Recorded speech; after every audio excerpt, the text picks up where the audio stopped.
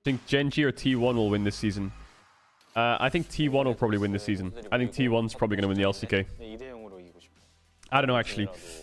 No, not win the LCK. I think Damwon will win the LCK. Damwon will win the LCK, but I think T1 will beat Gen.G. I think Damwon is pretty fucking strong.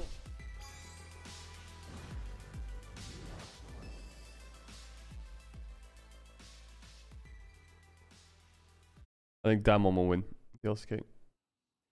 And now we welcome Hanwha Life Esports out onto the stage. It is a very difficult. I don't know. I feel like T1 in their first and Damwon both have top laners who I'm like, difficult task, to be perfectly huh. I don't know who's gonna do good. Like you have Zeus and Burdol, and I don't know which one will play good because Burdol was griefing on Gen.G, but he's also like 18 years old, and then Zeus is also like 17 years old. So they're both young.